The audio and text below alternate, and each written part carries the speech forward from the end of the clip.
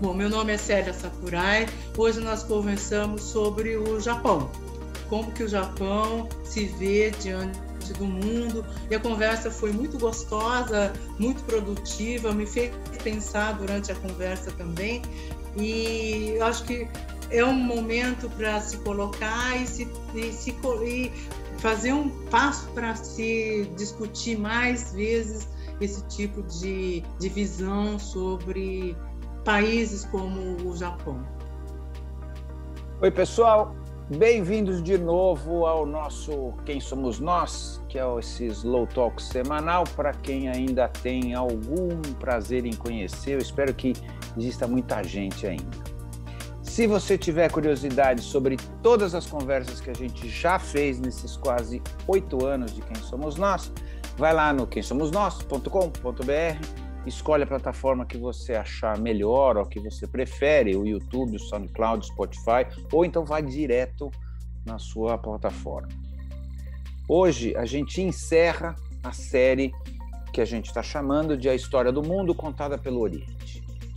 Nós vamos falar do Japão, obviamente que a gente não falou nas outras três e não tem como não falar do Japão, que é a terceira economia do mundo, logo depois dos Estados Unidos e da China. Para nos orientar sobre a história do Japão e o ponto de vista japonês sobre a história, a mestre em ciência política pela USP e doutora em ciências sociais pela Unicamp, Célia Sakurai.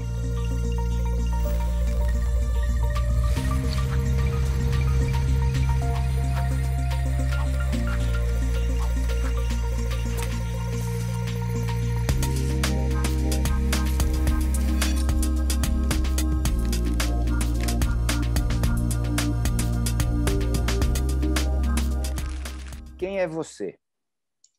Bom, em primeiro lugar, bom, meu nome é Célia Sakurai e eu sou uma pessoa que eu nasci em São Paulo, fui criada em Pinheiros e eu talvez eu tenha uma trajetória um pouquinho diferente, vamos dizer, de outras famílias japonesas de origem japonesa aqui no Brasil, porque desde sempre o meu pai me criou como sendo brasileira ele sempre insistiu nesse ponto de que você é nascida no Brasil, no caso eu e a minha irmã, e vocês são brasileiras, não é? Então, a minha experiência com o Japão é uma experiência vinda a partir da minha avó materna e, uh, inclusive, o conhecimento que eu tenho da língua japonesa é uma linguagem absolutamente infantil e é uma linguagem coloquial, porque desde sempre nós sempre falamos português em casa. Então, diferente de tantas outras famílias japonesas, eu nunca falei japonês em casa, quer dizer, a minha língua nativa, a minha língua primeira sempre foi português. Porque o meu pai sempre achou que é, a gente tinha que saber é, português, porque nós estamos morando no Brasil. E isso decorre, eu vou quer contar um pouquinho da, da história do meu pai, que ele veio aos 10 anos do Japão. Ou seja, ele já tinha frequentado alguns anos da escola e chegou aqui e se matriculou, foi matriculado num grupo escolar. Então, você imagina um meninão de 10 anos, grandão, uh, junto com umas crianças menores. Então, naquela época não se falava, mas era bullying total, não é? Quer dizer, ele não sabia falar português, então ele sofreu muito. Isso daí foi praticamente um problema assim que perdurou a vida toda dele, porque ele tinha que, ele achava que esse tinha que se falar português. Então, eu me lembro assim perfeitamente, essa é uma memória que eu tenho da minha infância, do meu pai pegando o jornal Estado de São Paulo, pegando os editoriais e falando para a gente, desde que eu tinha uns 10, 11 anos, vocês têm que ler o jornal. E aí, várias vezes eu pegava o meu pai com o dicionário do lado para tentar entender o que, que de fato estava escrito ali. Então, quer dizer, a minha, a minha, quem sou eu é um pouquinho decorrência disso tudo, né? E ao mesmo tempo, olha, só para falar, eu, eu tinha a minha, a minha infância, o meu japonês é a, a conversa que eu tinha com a minha avó, com a minha mãe, e aos 15 anos, só para só a gente uh, se localizar, eu declamava Dante Alighieri em italiano Então, eu sabia mais italiano, mais inglês do que uhum. japonês propriamente. Então, eu só fui estudar japonês depois que eu tinha terminado a faculdade. Aí foi, eu fui fazer um curso de japonês na Aliança Cultural Brasil-Japão, tudo, mas como se fosse praticamente uma língua estrangeira, mais familiar, obviamente, do que qualquer outra, mas de fato, de fato, a gramática, o vocabulário, ah, foi quando eu tinha 20 anos. Então, quer dizer, a minha, a minha experiência é, é um pouquinho essa, não é? E o quem eu sou tem muito a ver com tudo isso, não é? Quer dizer, eu acho que essa, essa minha, esse meu background de infância e adolescência tem muito a ver com, com isso que o meu pai incutiu na gente como sendo brasileira.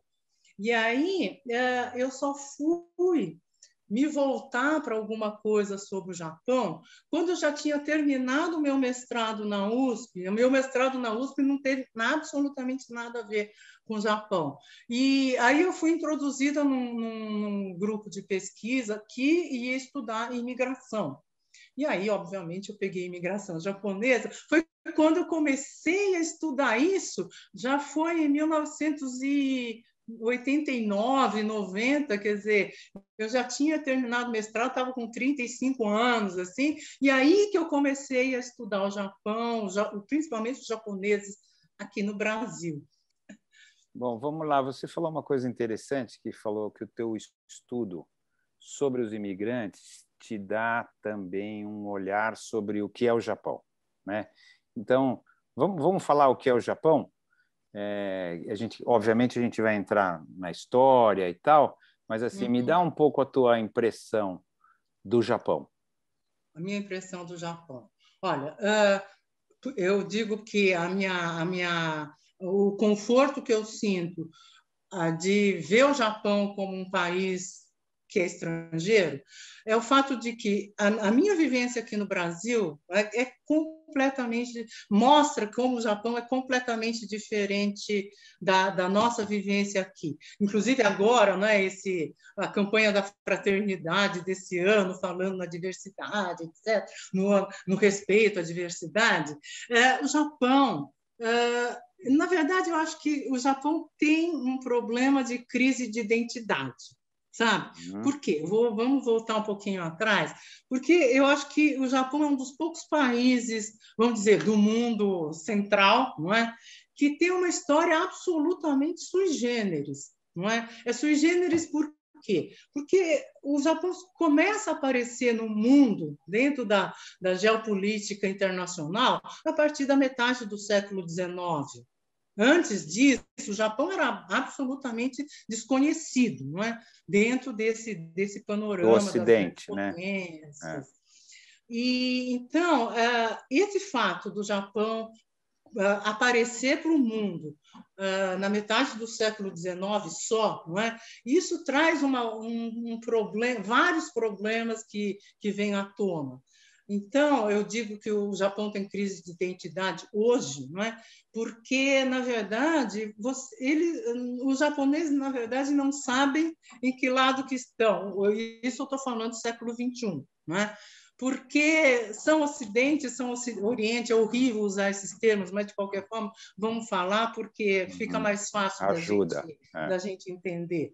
Mas nós somos Ocidente, nós somos Oriente. Não é? Então, eu acho que uma coisa que é muito importante para a gente levar em consideração sobre o Japão é uh, um ponto que é fundamental para a gente entender a, a, sociedade japonesa e os japoneses, que é essa divisão entre o que, que é o público e o que, que é o privado que existe uma diferença, existe uma barreira, existe um, uma muralha entre o que, que é o público e o que, que é o privado.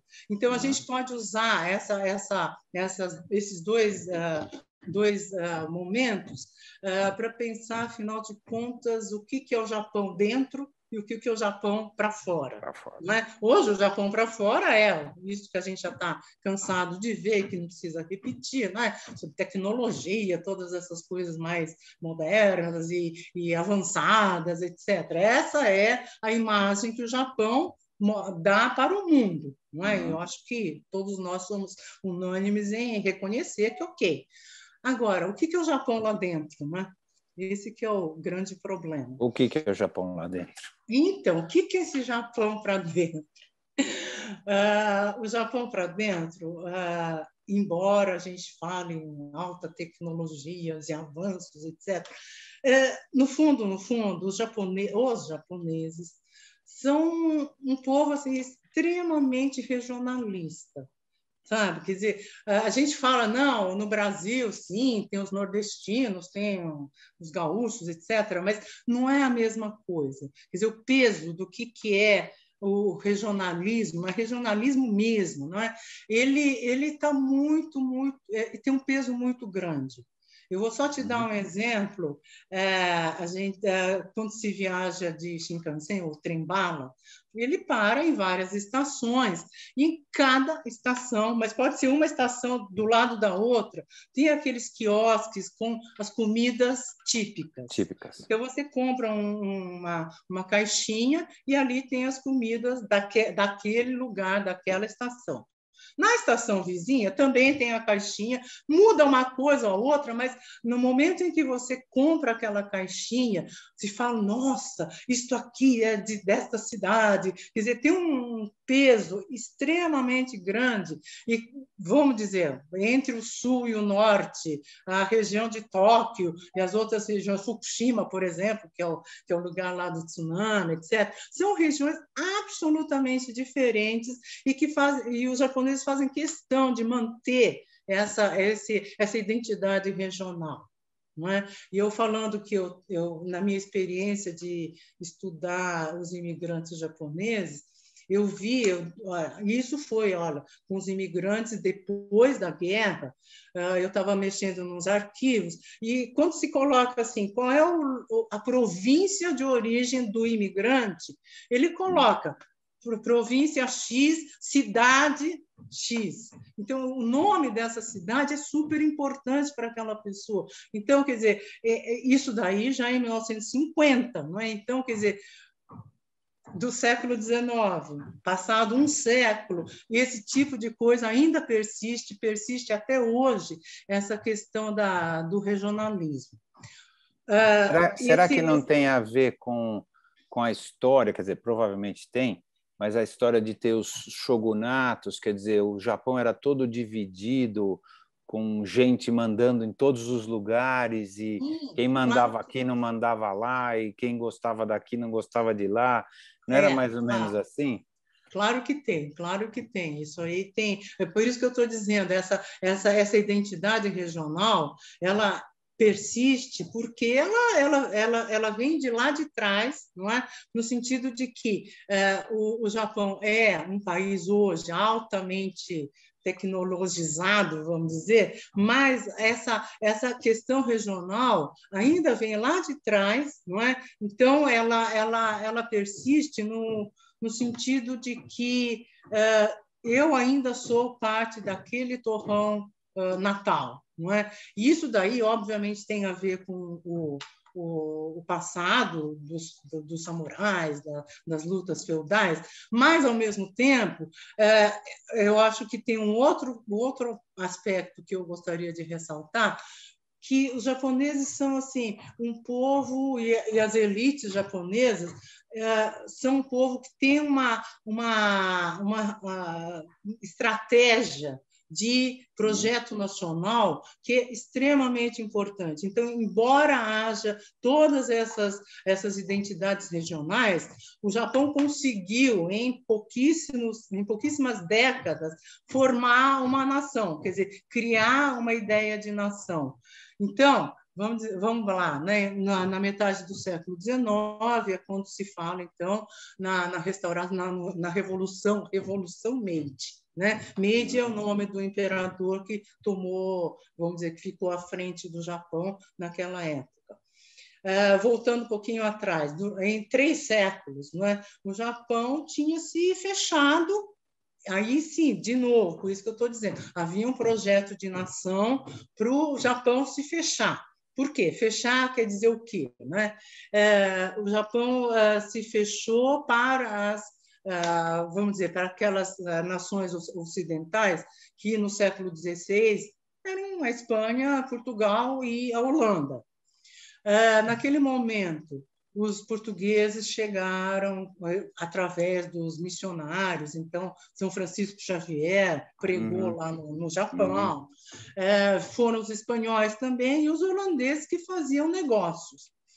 É, os, os, líderes da, dos samurais naquela época, eles simplesmente tomaram uma decisão de que aquilo estava muito perigoso para o Japão, principalmente porque os ocidentais chegaram ao Japão com armas de fogo que eram desconhecidas no Japão. Então, entre a espada e a arma de fogo, obviamente, os, os japoneses se sentiram melindrados, não é? Então houve uma, um, um, consenso entre os líderes da, samurais daquela época de que não acabou, eles, esses ocidentais não vão ficar aqui no Japão. E houve a expulsão, mas expulsão mesmo, né? Ah, desses japoneses, desses ocidentais, principalmente os portugueses. Então, ah, essa, e somente um, uma cidadezinha na região de Nagasaki ficou aberta para o comércio, mas era uma coisa assim irrisória. Não é? Posso é só fazer um parênteses? Eu sempre achei interessante. A China também teve um processo parecido, né, de se fechar para o Ocidente. O Japão também. E quando eu estava lendo alguma coisa para a gente poder conversar, é, que é uma coisa que nunca tinha me ocorrido, o Japão se fechou depois de saber da experiência uh, dos portugueses na América, né, da experiência dos espanhóis na América, saber que eles foram lá, entraram, destruíram tudo, tomaram e falaram: aqui não, aqui, aqui eu não, não quero. É, eu achei, era uma coisa que primeiro eu achava, mas por que eles se fecharam, etc. Agora eu acho que faz um sentido absurdo isso. Eu fico Sim. pensando se os, se, se, os nativos brasileiros ou se os nativos latino-americanos tivessem tomado a mesma atitude, o que, que seria hoje? Porque no final das hoje, é, seria uma outra história, com Exatamente. toda certeza. Né? Então não é, foi porque... um absurdo, não é um absurdo ter se fechado naquele momento. Eles estavam protegendo a civilização né, é, dele. É, exatamente. Né? Exatamente. E é o auge do, do, Império Português, não é? Quer dizer, século XVI. Então, é, é muito curioso, porque é, em Okinawa, que é uma das ilhas ali do Japão, tem tapioca. Eu, eu levei um susto quando eu cheguei em Okinawa, que tinha tapioca. Aí depois você vai pensando, pensando, mas, gente, isso daí é, é decorrência dessa presença portuguesa no século XVI, não é? E, bom, tem várias, várias coisas a respeito desses portugueses ali no Japão, mas é, aí que está, não é? De novo, é, como, é que, como é que há uma construção dessa, dessa expulsão dos portugueses uh, do Japão? Então, hoje, não é? Até hoje, tem assim a história dos 15 mártires uh, cristãos, não é? japoneses, que foram trucidados pelos, pelos japoneses. Aquele filme, O Silêncio, não é? Bem, é dessa época uh, que, que fala sobre essa, essa questão de como é que como é que os japoneses usam essa essa essa essa expulsão dos portugueses e tiram vantagem disso. Então, quer dizer, expulsaram, foram cruéis, mas ao mesmo tempo criaram 15 mártires, os 15 santos japoneses. É? Então, quer dizer, você tem sempre os dois lados aí para se pensar sobre essas questões, não é? é esse, esse, só para dar um parênteses, esse, esse romancista, o Susakendo, ele, ele tem um romance que é muito interessante, que se chamou Samurai, que fala sobre alguns cristãos, um cristão que saiu do Japão e faz uma viagem, atravessa o mundo, passa pelo México, depois vai para a Europa para conhecer o Papa.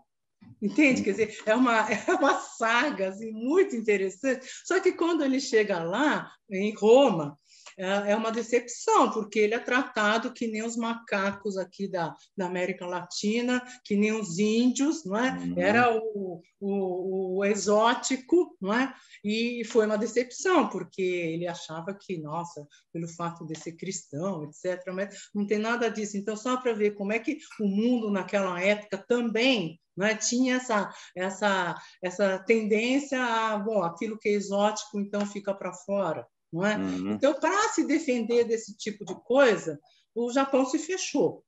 Agora, se fechou, tendo, obviamente, um imperador que era igual à rainha da Inglaterra, era, era, era simbólico né, o papel desse, desse imperador, mas no momento em que o Japão se abre não é, para o Ocidente, e essa é uma história que eu acho que é importante também, porque da mesma forma que se fechou, o Japão resolveu se abrir. Ele Agora, foi obrigado, abrir... na verdade, não é isso? Foi obrigado foi... a se abrir por Olha, se você olhar essa história ponto... dos, dos canhões, dos ingleses, dos americanos que uh, ameaçaram bombardear a cidade se não abrisse. Isso é verdadeiro, não? Não, isso é verdadeiro. Agora, é. qual foi a estratégia? De novo, então, havia um pro...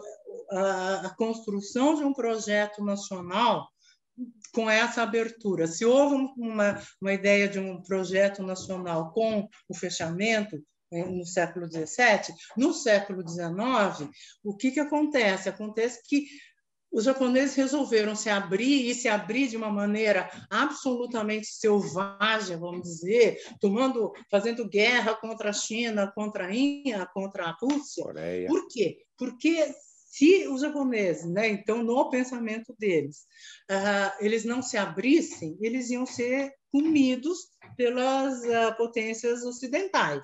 Então, não iriam, não queriam repetir a experiência da Índia, por exemplo, não é? para uhum. ficar sob domínio inglês. Então, para se manter uh, independente, na medida do possível, mas pelo menos independente politicamente, o Japão empreendeu uma, uma, um processo assim, absolutamente uh, selvagem mesmo, no sentido de, bom, nós não somos capitalistas, mas nós nos tornaremos capitalistas rapidamente. Então, a, a, a, o investimento nas indústrias de base, a siderurgia japonesa, desde aquela época, a indústria naval, quer dizer, desde aquela época e até hoje, não é? são, uh, são exemplos de como que houve um investimento maciço não é? para que o Japão se tornasse um país capitalista e dos bons, vamos dizer, não é? Dos bons no sentido de que, bom, nós somos concorrentes à altura, naquela época da, da, Inglaterra, da França, um pouquinho mais tarde dos Estados Unidos, mas eh, nós temos que nos colocar eh, ombro a ombro. Não é? Então, é isso que eu digo, tem esse projeto de, de, de estratégia mesmo, de projeto nacional estratégico, pensado, muito bem pensado, porque senão as coisas não iam dar certo. Então, os japoneses não queriam ser ah, que nem os países da África ou da, da, da Índia, com os outros países da, da Ásia, não é? Então, para se manter independente, é, se, se voltaram para realmente se fazer esse desenvolvimento, se modernizar rapidamente. Depois, isso no século, na segunda metade do século XIX, né, que você está colocando. A partir da metade do século XIX é. até o início do século XX, vamos dizer, é esse período mais, mais é, acelerado desse, desse processo de modernização. E aí Agora, teve a Primeira isso... Guerra, né, o Japão participou disso de alguma maneira, né? É, participou meio de lado, mas lado, participou. É. É. é. meio de lado, mas participou. E, mas, de novo, né, do lado da, da Alemanha. Alemanha. É, uhum. e é aí... porque o, o espelho do, do Japão nesse período de, de modernização foi a Alemanha praticamente, quer dizer, o, a Constituição japonesa, ela é praticamente uma, vamos dizer, uma cópia não, mas é, ela está muito espelhada na, na experiência da Constituição uh, alemã, que naquela época também tinha acabado de se unificar, não é? é. Então você tem todo um, um movimento no, no mundo que estava as, as peças de xadrez estavam se movimentando. Então, essa metade do século XIX até o início do século XX é um movimento de todas essas nações em torno de, de alguns objetivos comuns. Né? E no caso do Japão, era realmente uh, se aparecer como sendo algum, uma potência naquela Ásia Oriental. Então, tanto que o Japão empreende uma guerra contra a China, contra o Império uhum. Russo, uhum. e vence, não é? E vence, e ao vencer, é, o Japão, então, uh, se fixa como a, a, o vencedor nas ilhas de Taiwan e lá na Manchúria. Então, quer dizer, vai começando a assim, entranhar no continente uh, asiático de uma forma muito, muito simples, e um pouquinho mais tarde, em 1910, o Japão entra na Coreia e se fixa na Coreia. Então, mas na verdade, o que, que você a gente pode depreender de tudo isso? É a primeira vez que o Japão de fato, entra em contato com outras civilizações, com outras culturas, porque até a metade do século XIX era absolutamente desconhecido. Então, falar em China era falar numa China que era do século VI, que levou o budismo, que levou a língua, a língua né, os, uhum. os, os caracteres. caracteres não é a cerâmica, a cerâmica coreana que foi levada, mas a ideia do que que é uma Coreia, do que que é a China, o que que é a, a Taiwan era era absolutamente desconhecido e várias muitas famílias japonesas foram levadas para esses territórios para colonizar é, esses lugares. Então, é, os coreanos no passado falavam japonês perfeitamente, não é? Por quê? Hum. Porque tinham sido colonizados até, a, até o final da Segunda Guerra Mundial, a Coreia era do Japão. É? Então, uh, tem toda uma história aí, e uh, da mesma forma, né? os japoneses saíram do Japão e vieram aqui para o Brasil, foram para os Estados Unidos, quer dizer, houve um movimento de emigração também, e os, os, os, relatos que eu tenho dos primeiros imigrantes aqui no Brasil era assim, de uma perplexidade total, não é? Porque eh, são vários casos de gente falando que nunca tinham visto uma pessoa preta. Não é? No, no uhum. momento em que o navio passou pela África, nossa, o que, que é isso? Não é? E da mesma forma, aqui no Brasil também, o que, que é isso? Não é?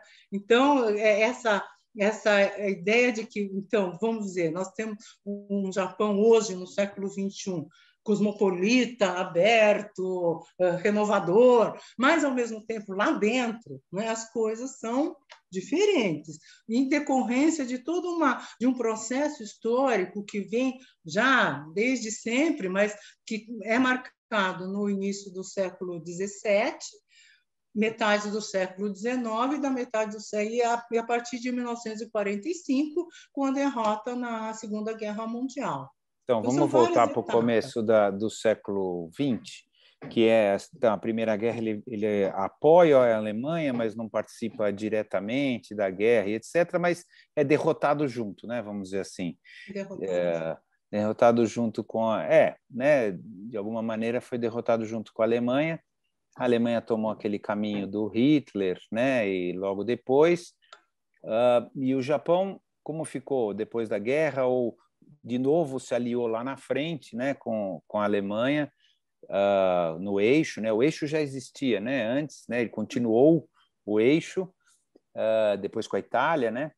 E que foi culminar ali com a Segunda Guerra. Esse período Uh, também uma coisa, tem muita gente que fala da violência, né? Na a Coreia tem muito ressentimento com o Japão e a China também, principalmente esse, essa parte da Manchúria ali com o Japão, da violência da, da ocupação japonesa, né? Que não foi, que era, era uma ocupação de, de assassinar todas as pessoas, crianças e etc, que tinha uma violência tal. Eu não, não sei se é verdade ou não, tá? Eu estou sempre colocando o que as pessoas colocam, você me diga o quanto está errado, né? É, e isso ficou um pouco marcado, acho que até hoje existe uma rixa importante, né? Pois é, eu, queria voltar um pouquinho atrás, é, antes de, de, entrar nessa questão da, da Segunda Guerra, porque, na verdade, o, essa, essa proximidade do, do Japão com o Império Russo levou alguns pensadores japoneses a criar um partido socialista no Japão criar um partido comunista no Japão. Só que esses, esses dois partidos é? que estavam fora daquilo que era o esperado do, da, da conduta japonesa, não é? porque ia, ia ser a, a tendência de, de se pensar em movimentos de massa. Não é? Uhum. E esses movimentos, e, e o, o, Japão tinha todas as condições para que esses, esses dois partidos tivessem uma, uma ascendência sobre a população, porque a população estava empobrecida, estava sendo altamente explorada, tudo, mas as elites do período Meiji simplesmente sufocaram qualquer tentativa de, eh, de explosão desses partidos, tanto socialista como comunista.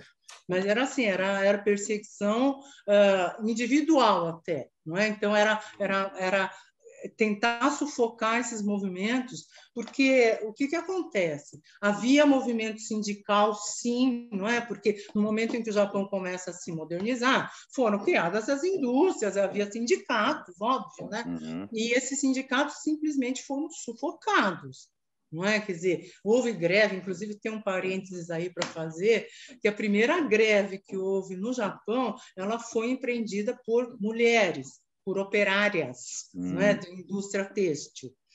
Claro, foram massacradas, tudo, mas, de qualquer forma, eh, todos esses movimentos que iam contra um mainstream, né, quer dizer, vamos dizer, a coluna vertebral daquilo que se pensava do projeto de Japão, eles foram simplesmente abafados. Não é? Hum. E isso aconteceu também durante a Primeira Guerra Mundial e foi num crescendo até chegar na, na explosão da, da Segunda Guerra Mundial. Não é? Por quê? Porque a tendência era vamos criar um, uma sociedade onde todos sejam obedientes, leais, e aí, de novo, então, uh, vem a figura do imperador.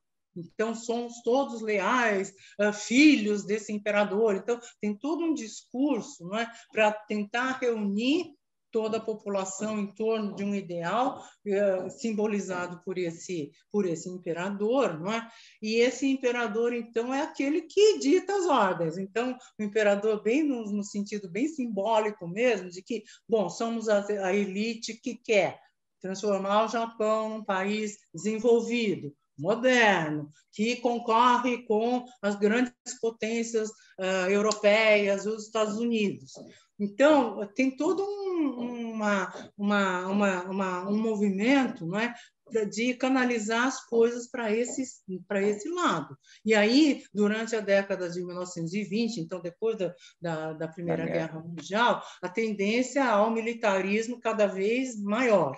Não é? Então, uhum. as eleições eram eleições. Não é? Uh, houve um período de 10, de 5, uh, 6 anos, que se chama Democracia Taisho. Taisho é o, é o imperador que substitui o Meiji. Então, uh, na, nesse mesmo contexto de, da Primeira Guerra Mundial, quando o Japão, então, obviamente, teve contato com outros países, houve uma eleição, essa democrática e, e as pessoas que uh, chegaram ao poder eram pessoas com a cabeça mais aberta, com a cabeça voltadas e tentando colocar o Japão dentro de um processo democrático. Só que eles também foram uh, banidos. Não é? Quer dizer, hum. houve realmente movimentos ali para afastar todas essas, essas pessoas com a cabeça um pouquinho mais aberta, aberta no sentido de, de, de, de democratizar o país, e, e transformar o Japão num, país absolutamente militarista. Não é? Quer dizer, essa tendência do, do, do, militarismo foi até o final da Segunda Guerra Mundial.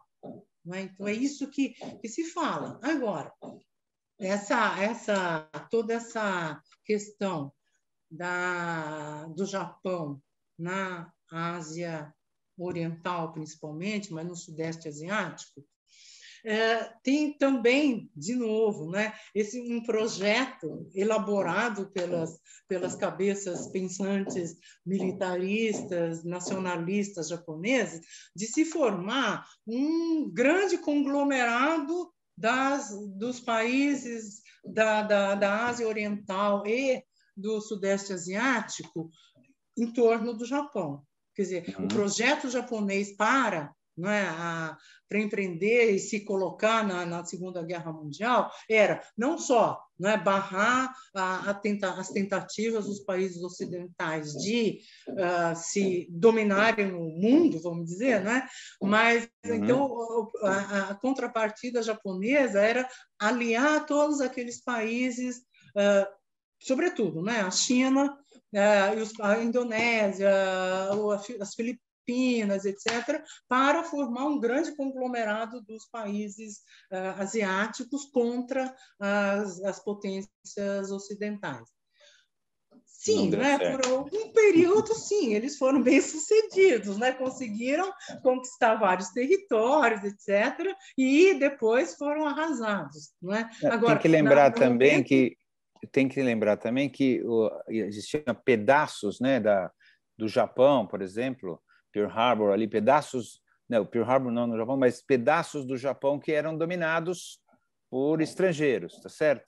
E, a, e o ataque a Pearl Harbor é um pouco dizer, olha, não queremos, não é isso? Exatamente, exatamente. Chega, ó, até aqui tudo bem, né? Daqui para lá vamos, vamos conversar, uhum. né? Agora tem uma coisa muito interessante, porque é, antes da, do início da Segunda Guerra, já no, no final do século XIX, o Japão começa a, a fazer esse, esse movimento de levar a população para, como eu falei, para a Coreia, para a Manchúria, mas também havia uh, o, a presença de emigrantes japoneses que são aquilo que a gente chama hoje de decassegue, mas decassegue uhum. quer dizer o trabalhador temporário na, no Havaí, não é? Então, já no, hum. em 1870, uh, tem vários jovens solteiros que vão trabalhar no Havaí para, nas plantações de cana-de-açúcar. É, na, naquela mesma época também há uma, a construção de uma ferrovia, por exemplo, lá nas Filipinas. Então, o Japão levou a, a sua, o seu know-how de construção de ferrovia, porque já estava desenvolvendo lá no território japonês, para então formar uma companhia para fazer, construir uma ferrovia nas Filipinas. Então, quer dizer, aos pouquinhos e pouquinhos, como a gente fala assim na, na gíria aqui no Brasil, vai comendo pelas beiradas, né? Então, estavam começando a comer pelas beiradas e, e, se, e se colocar em pontos talvez estratégicos é, antes do início da Segunda Guerra. Então, quer dizer, não dá para falar chegaram e, e, foram tomando territórios, não é isso, né? Quer dizer, foram colocando os pezinhos antes, mostrando, ó, nós existimos, não é? E o fato de nós existirmos uh, mostra um pouquinho esse, esse, esse movimento que é o do Japão na Segunda Guerra. E mas dentro desse projeto de se formar um grande conglomerado de países uh, asiáticos. Um Quer império, dizer, um império é, um império, império uh, coordenado, japonês. liderado pelo Japão, né? um império asiático liderado pelo Japão. Tem uma coisa que me intriga, é a Alemanha uh, se rendeu antes do Japão. Né?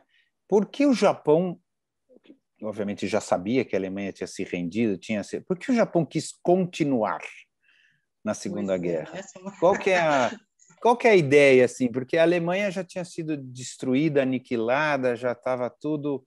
Uh, por, por, que, que o Japão continuou? Existe algum estudo sobre isso, algumas hipóteses? Me parece tão maluco assim, né? É a Itália maluco, já tinha né? ido, a Alemanha tinha ido, só sobrou o Japão. Só, só, ali, é. né? uh, olha, o que, o que se coloca, e também não, eu não tenho certeza se, se é só isso, não é? Mas essa questão da lealdade que eu falei lá atrás, não é? Essa questão da obediência.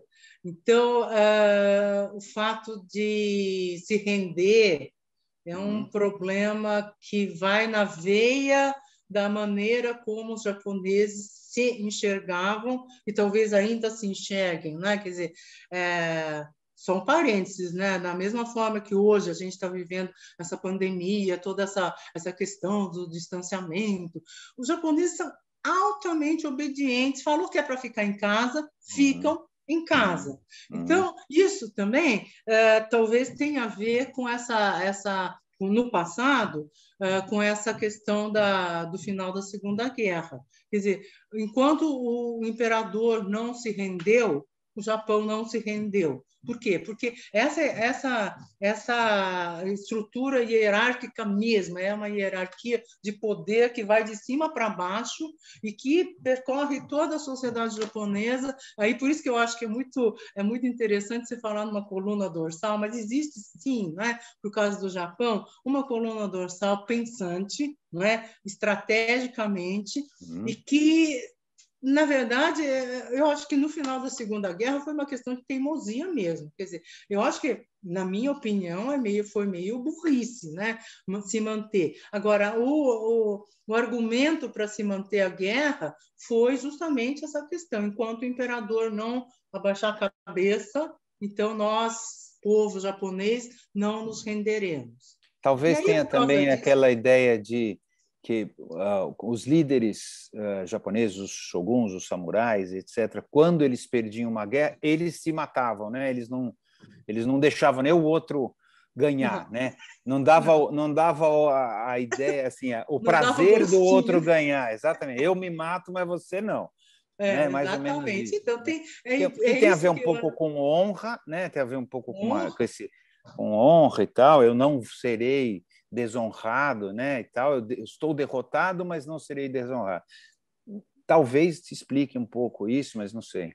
É, é, então é, eu acho que se a gente for pensar do ponto de vista de como é que a sociedade japonesa se via naquela época, eu acho que é bem plausível, sabe?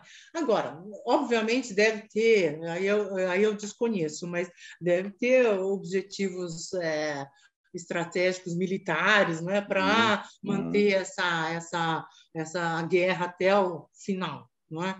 Mas não foi fácil. Não, é? não foi fácil, porque é, essa questão da honra nacional já vinha, não é, sendo já, já vinha sendo mantida ou tentado sendo mantida há, há décadas de, antes da, do final da Segunda Guerra.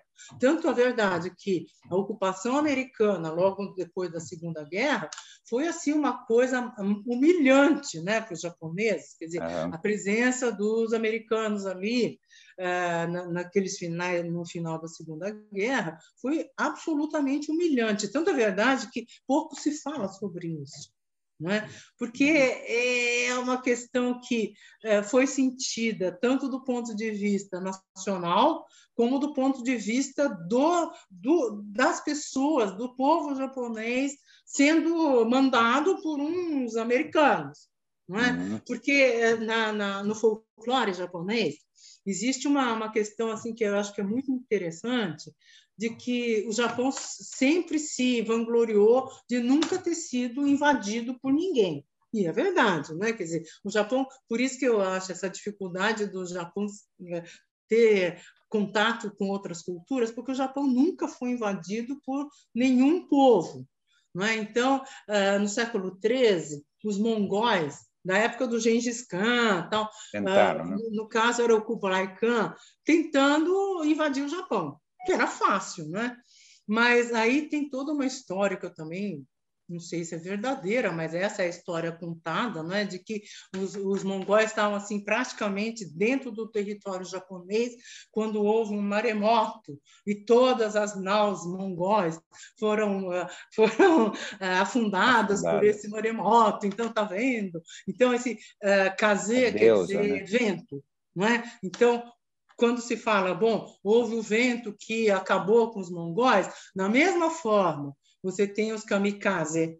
Então, kaze, uhum, né? É então, vento. a mesma coisa. Kami é, kami é, é Deus, Deus vento. Então, os kamikazes no final da Segunda Guerra. Então, sempre essa ideia de que, bom, uh, o vento não é? Então, não, impedindo alguma coisa. Então, talvez, da mesma forma, o, o avião se jogava em cima do navio, quer dizer, simbolicamente, é, é esse é. vento não é? que está barrando alguma coisa ruim para nós, entende? Uhum. Quer dizer, tem, uhum. eu acho que o Japão é muito interessante para se trabalhar por causa dessas simbologias, né? Você pega coisas do passado e traz para o presente, você vê como é que como é que isso aí encaixa, não é? E foi encaixado de forma assim brilhante, né? Por esses por essas pessoas que estavam pensando nesse projeto nacional.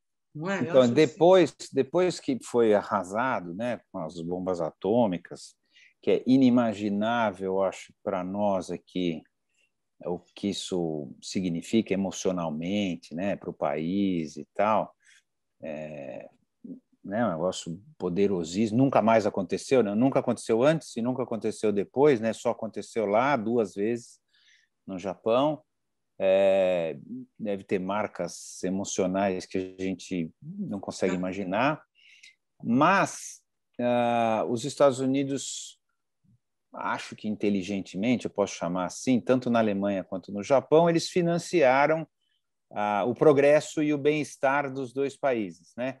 como uma maneira, talvez, de evitar ah, outro tipo de pensamento que não o capitalismo americano e uhum. tal. Pá, pá. E é. são dois países hoje que são.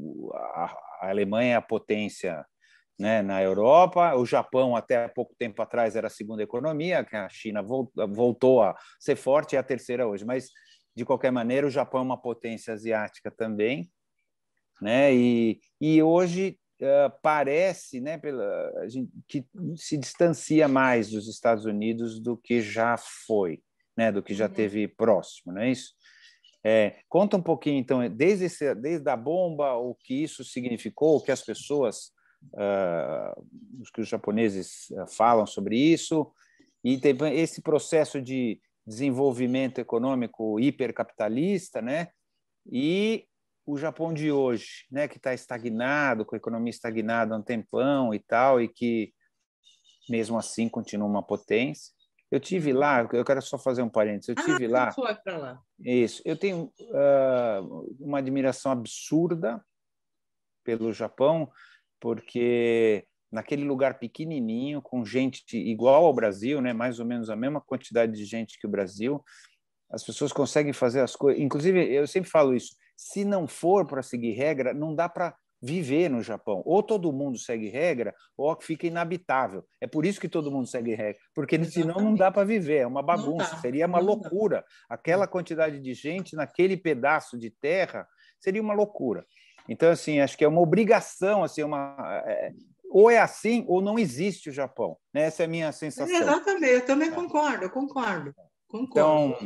Então, de qualquer maneira, eu tenho uma admiração enorme pela capacidade que as pessoas têm, que os japoneses tiveram, de estar juntos naquele pedaço e de uma maneira muito bem sucedida. Mas então, voltando, esquece a minha opinião, que ela não é importante, mas voltando ah, aí, vamos falar um pouquinho então da, das bombas até agora. Ah, tudo bem. Olha, as bombas, obviamente, sem comentários, né? Eu acho que claro. sem comentários. Agora, para o povo japonês, aquilo foi assim o, o auge da humilhação, não é? Quer dizer, talvez menor do que a rendição do imperador, porque o fato do imperador japonês ter se rendido aos, aos americanos foi assim o, o a gota d'água daquilo que poderia ser o orgulho nacional. As bombas atômicas né, foram realmente um, um marco, né, obviamente, não tem nem como falar sobre isso. Agora, uh, se a gente pensar um pouquinho, um pouquinho adiante desse, desse período da ocupação uh, americana no Japão, é, começou a Guerra da Coreia logo em seguida. Não é? Então, qual que, qual que foi a estratégia do Japão? Ao invés de falar, não, vamos baixar a cabeça para esses norte-americanos, eles se aliaram aos americanos. Não é? Quer dizer, a, a, uhum. uma, uma das grandes razões para o boom econômico japonês, depois da, dali em diante, foi justamente essa, essa, essa aliança que o Japão fez com os Estados Unidos na Guerra da Coreia, porque foi quando então os Estados Unidos passaram uh, know-how de, de armamento, de armas não, mas de, de como se, se faz, fazem as coisas. Não é? Então, é, talvez, na minha opinião, o germe de toda essa, de toda essa, desse boom econômico começou, é, eu acho que na, na, na Guerra da Coreia, com a Guerra da Coreia. Agora, a gente tem, você conhece o Japão, você sabe é, como é que o japonês é até meio, vamos dizer, exagerado na, na no cumprimento de tarefas, não é? Então, uh, o que, que foi a, a restauração de um país absolutamente acabado né, com o final da guerra. Quer dizer, todas as cidades estavam não é, bombardeadas, não tinha economia nenhuma. Agora, houve, vamos dizer, usar uma, uma expressão contemporânea, que houve uma força-tarefa para que, então, todos se empenhassem para que o Japão se reerguesse. E isso daí não é, não é nenhum exagero, é? porque havia toda uma, realmente uma, uma maneira de colocar cada pessoa, né, cada cidadão japonês, para trabalhar para que o Japão, então, se reerguesse. E foi uma tragédia, porque é, com o final da Segunda Guerra, 6 milhões de pessoas, então isso a gente está falando em 1945, 6 milhões de japoneses que estavam nesses territórios que eu falei anteriormente, né? na Coreia, na Manchúria, nas Filipinas, etc., voltaram para o Japão. E aí, como é que você faz? Já tinha uma população, ok, ela tinha sido dizimada, etc., mas eram 6 milhões de pessoas a mais, não é? Para tentar reconstruir esse país. Então, houve, sim, movimentos, alguns de, de emigração de novo, não é? Então, tem um movimento relativamente importante importante de emigração uh, para os Estados Unidos, para o Brasil também, né? não muito, mas houve imigração para o Brasil, para outras partes do mundo, para tentar levar essa população para fora. Agora, uh, depois disso, então, tem as Olimpíadas de, de, do Japão, né, em Tóquio foi a maneira o quê? Simbólica de mostrar, ó, nós estamos vivos, tá vendo do que, que nós fomos capazes de fazer em 20 anos, o que, que nós estamos, então, inaugurando aqui para que o mundo veja o que, que é o Japão depois desse, dessa guerra. É? Então, a, a história do trem-bala, que for, ele foi inaugurado exatamente na época das Olimpíadas. Então, quer dizer, tem todo um movimento simbólico aí que, de restauração da, do orgulho nacional, vamos uhum, dizer, né? Uhum. de tentativa de reerguer o Japão e transformá-lo de novo né? num país capitalista. Agora, vamos e venhamos, não é? Quer dizer, a gente tem todo um movimento de é, de indústrias, vamos dizer, de é, tecnologia, indústria automobilística, você tem a indústria da, das telecomunicações, você tem a indústria de TV, rádios, então, obviamente, a Sony é um exemplo de tudo isso, né? os carros japoneses. Agora, toda, toda essa, todo esse movimento tem, tem um passado que eu acho que é bem interessante, porque todos eles, o Akio Morita da Sony, o Honda da, da Honda, né, dos carros, todos eles eram assim pequenos artesãos, não é, que foram crescendo, mas foram crescendo com no sentido de ter ajuda, trabalho assim praticamente com um salário irrisório, né? mas naquela, naquela intenção de vamos fazer esse país crescer. Então, nós vamos crescer, mas não tanto assim no, no sentido do enriquecimento individual, mas no, na tentativa de um enriquecimento uh, coletivo. Né? Que é uma coisa interessante também, que no Japão você não sabe, não tem um Rockefeller, você não tem um, grandes, grandes fortunas individuais, mas você tem grupos. É? Da mesma forma que na época do, do século XIX, os grupos Mitsubishi, Mitsui nasceram nessa época. Então, até hoje, sim. Não é? Então, quer dizer, é toda a, a ideia de que tem um coletivo. Isso, como, como você bem ressaltou, é um país com uma população imensa, não é? E que tem que dar de comer, vestir e, e habitar, não é? Então, dar moradia para todas essas pessoas. Então, essa, essa ideia do coletivo é uma coisa extremamente importante para se ressaltar sobre o Japão. Queria dar um outro exemplo quando eu tive lá, e para um brasileiro parece absurdo, mas é corretíssimo, tá? É, ali quando está o, vermelho para pedestre, mesmo que não tenha carro em nenhuma, pode ser a hora de madrugada, Isso. a vermelho para pedestre, não tem carro, ninguém passa, ninguém atravessa a rua. É, você acha esquisito, porque você fala, mas não tem carro, não está vindo nem de lá, nem de cá, nem de, nada, nem ninguém atravessa. Só quando dá o verde, as pessoas atravessam. É chocante por um lado, por outro lado, você fala, é assim, é a regra, né? Nós concordamos que seria assim, a gente tem que fazer assim. Parece um pouco simples, mas aqui no Brasil isso seria quase impossível de acontecer. Quase né? impossível, né? Não precisa nem ser uh, né, uh, só ver aqui na Avenida Paulista o que, que acontece, né? Mas é, é, isso que eu acho que é interessante e, e é isso que eu falo. Essa questão do coletivo tem um peso extremamente importante, não é para os japoneses. E porque também, se você pensar um pouco, não é? Ah, quando eu era criança, havia toda uma, uma fala, ah, japonês é tudo igual. Né? Se você levar isso para um outro, uma outra esfera, você conhece o Japão, você sabe, você vê todas as pessoas com um tipo praticamente idêntico, né? Falar é tudo igual. Bom, você chega no Japão, é igual mesmo, os homens com aqueles ternos escuros, a camisa branca, o paletó e a gravata. Os jovens não, né? Os jovens não. Os jovens são muito diversos. Né? Ah, sim. Os jovens Mas não. os muito jovens, é, né? É. Os muito jovens. Aí sim, né? Mas, mas isso você vê que é uma realidade das grandes cidades.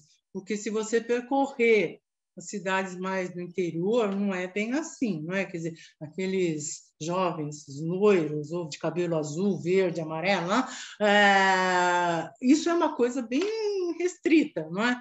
Mas, de qualquer forma, existe, claro que existe, mas é uma transgressão. Mas é uma, é, um, é uma transgressão tão pequena, né? Quer dizer, é só na aparência, porque é, é uma coisa interessante que eh, você vê os japoneses assim com uma, um comportamento que é muito parecido de um com o outro, não é? Porque você tem os grupos, é? Então tem o grupo do trabalho, o grupo do, do, do esporte, o grupo que faz alguma atividade cultural, mas são grupos não é, que pouco se falam entre eles, mas você fazendo parte desse grupo, você é realmente visto como sendo daquele grupo e você tem então a, a sua, a, a, sua etiqueta na, na testa, né? E, e, e, da mesma forma, os jovens com aquele cabelo verde, roxo, tá ali a etiqueta, né? Eu sou jovem, né? Na mesma coisa, é, eu não sei se você conheceu, mas em certos bairros tem a Yakuza, né, que é a máfia japonesa, uhum. e todo mundo sabe que aquela, aquela criatura ali é da máfia. E tudo bem, sabe? Ele faz parte daquele grupo, não é? Isso é super interessante, porque é, isso, isso é, é muito próprio não é? da maneira como os japoneses se comportam.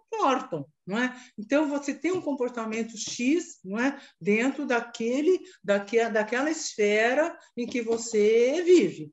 Não é? Então, da mesma forma, quer dizer, você vê, por exemplo, eu acho que não sei se você Uh, teve oportunidade, mas é muito interessante. Eu vou contar dois casos. Uh, quando chega meia-noite, que é a hora que o metrô fecha, Uhum. As estações de metrô, nas estações, nas portas das estações de metrô, tem filas de, de táxis não é? para receber os bêbados. Então, são os bêbados, mas são os bêbados, não aqueles que. Não é que nem aqui no Brasil, são os bêbados uh, com, com terno, gravata, que foram beber num, num, numa, num barzinho japonês, só os homens na, da, do escritório ou com um chefe, então que vai se divertir, bebe demais, então perde o horário do, do metrô. Mas é aquele grupo, não é que, ah, o fulano daqui, de lá, não é? que é uma coisa que, uh, obviamente, acontece que uh, se você for convidado para ir na casa de algum japonês, é uma honra assim que você não pode nem imaginar, porque o japonês não nunca vai chegar para você e falar assim: ah, ah, é o batizado do meu filho, aniversário de, da minha prima. Vai, passa lá, a gente, você vai conhecer a família. Isso não existe, não é? Tá? Nunca, nunca existe. Então, se você for de algum jeito convidado para participar de alguma coisa na família, isso é uma honra assim, e é completamente fora do comum, não é?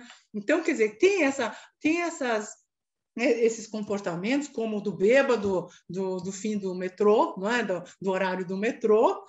E, e uma coisa que você estava falando dos jovens, eu me lembrei, uh, eu passei um ano novo em Kyoto. Então, eu fiz questão, falei, não, vou na cidade mais, né, uh, vamos dizer, tradicional, japonesa, tal, para ver como é que é o ano novo, a passagem do ano novo nessa cidade. Fui porque eu sei que é, os templos budistas eles tocam o sino 109 vezes, porque são, parece que são 109 os pecados do homem. Então, toca-se o sino para cada um dos pecados que os só, homens cometem. Só, só 109? Só 109. É, tá bom, sim, então. Aí, o que, que aconteceu? Isso é uma coisa, assim, é uma experiência antropológica muito interessante, foi muito rico.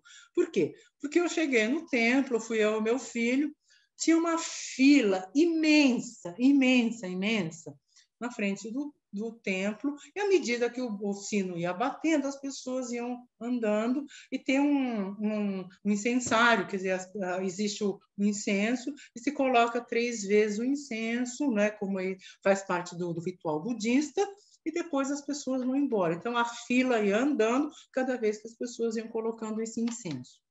Ponto. Parágrafo. Quem eram essas pessoas que estavam nessa fila? Né? A pergunta, bom, eram jovens, muito jovens, sabe? Daquelas, daqueles jovens, assim, dos, dos 16 aos 25 anos, todos, todos, é praticamente sem exceção, eu fiquei surpresíssima, falei, gente, mas tá vendo? Quer dizer, são aqueles jovens que com os cabelinhos tudo bonitinho, com as roupas moderninhas, tudo, fazendo questão de passar o, o, o Réveillon, né? exatamente colocando incenso no, no, no templo budista. Aí era muito engraçado, porque acabava de colocar, aí a, a, o lugar onde eu estava era assim, uma espécie de um morro, aí todos eles com celular, marcando festa. Então a balada era pós incenso, não é? Antes tudo bem, todos comportadinhos na fila, tal, e depois né, liberou geral. Então você vê como é que o que é o Japão contemporâneo, né? Quer dizer, embora esses jovens todos moderninhos, tal, ainda continuam mantendo esse ritual que é um ritual secular, tá certo? E no dia seguinte é que as famílias, então as pessoas mais, mais velhas, iam, vão para os templos e fazem, repetem o, ritual. Mas é, é, muito interessante como é que você tem, por isso que eu acho o Japão, como eu falei no começo, tem um problema de identidade, né? Fala, quem, quem que nós somos? Não é? Esses jovens, eu acho que nessa, nessa nessa situação mostram muito bem o que, que é, afinal de contas. Eu sou aquele que coloca o incenso no templo, como acontece há séculos no, no meu país, ou eu sou aquele jovem que vai na, na balada pós-ritual. Uh, Sabe como então, eu dizer... vejo? Sabe como eu vejo? Eu acho que o Japão ah. é tudo isso e tem uma admiração, eh, de verdade, tem uma admiração enorme, porque ao mesmo tempo tem toda esta retidão, né? E por tem um outro lado que é completamente eh, maluco até, né? Assim, então, é maluco, então eu acho, não sei, eu achei, eu, eu adorei lá, eu fui com meu filho também, meu filho mais novo e ele também tem adoração pelo Japão, eu adorei, eu gostaria de voltar muitas, é que é longe, né? Mas assim, é, eu gostaria de voltar muitas vezes lá. Vamos, a gente está chegando, já demos uma hora de papo, ou seja, Nossa parece, senhora, que é, rápido. É, depois, então, eu vou a gente, na verdade, tinha muita coisa para falar ainda, Ixi, mas eu sim. acho que já está, acho que a gente já passa um pouco do que a gente gostaria de passar para as pessoas. Ah, eu tá sempre tá finalizo com a mesma pergunta, ah. e aqui você interpreta o nós como nós japoneses, nós humanos, nós o que for, marciano, sei lá. Mas assim, quem somos nós para você? Olha, nós somos seres humanos com todas as suas veleidades, com as suas características, com as suas fraquezas. E é, eu acho que existe sim, não é? Alguns pontos que são universais. Não é? é eu estava falando que durante essa pandemia eu reli Dostoiévski, e aí, de repente, eu descobri, gente, quer dizer, Dostoiévski escreveu no século XIX numa Rússia absolutamente diferente do que é hoje, e eu me vejo retratada por ele. Então, quer dizer, existem alguns, algumas, alguns pontos que nos fazem humanos, não é? Então, são, sobretudo as nossas fraquezas, as nossas, as nossas dificuldades, e hoje eu acho que o fato da, da gente estar vivendo essa pandemia mostra muito bem quais são as nossas dificuldades. Eu acho que esse período que a gente está vivendo hoje, 2020, não é? 2000, começo de 2021, é muito sintomático para a gente responder quem somos nós, não é? Nós somos essas pessoas que sim, uh, dependendo de onde nós estivermos, nós podemos vamos falar, bom, tudo bem, tem que fazer distanciamento, mas a gente dá um jeitinho e cai fora, e temos que fazer uh, distanciamento, sim, nós vamos ficar quietinhos em casa. Uh, nós vamos obedecer, não vamos obedecer, quer dizer, essas, essas escolhas são escolhas que nós fazemos pessoalmente. Não é? Agora, o fato de que nós temos a possibilidade de escolher, e essa escolha é, é uma escolha que tem, tem consequências, isso nos traz essa, essa coisa que é linda, não é? que é linda, que é o sentido de viver. Não é? Quer dizer, o fato de eu poder escolher, de falar, vou, é A, B ou C, ou Z, que seja, né?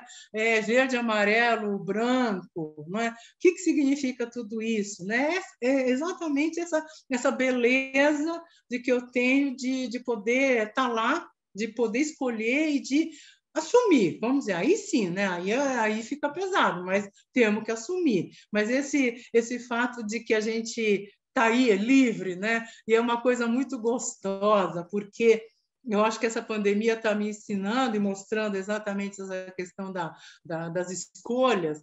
E aí eu me sinto meio adolescente. Porque quando a gente é adolescente, tem 15, 16 anos, você tem um mundo aberto pra, na tua frente, você pode fazer a escolha que você quiser, e aí com consequências menores, mas enfim, você tem pode fazer escolhas do jeito que você quiser. Né? E eu sempre falo, adolescente é um ser assim privilegiado.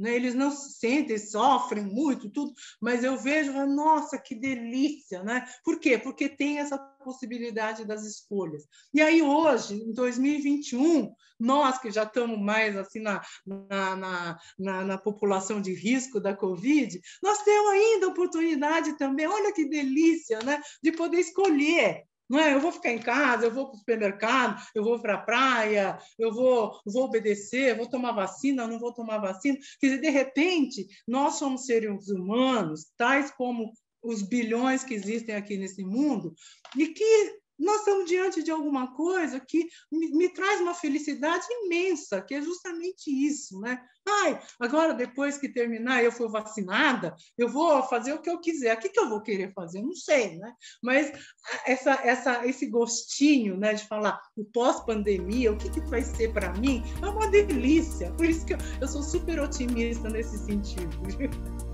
Que bom, que bom. Maravilha, muito, muito, muito obrigado.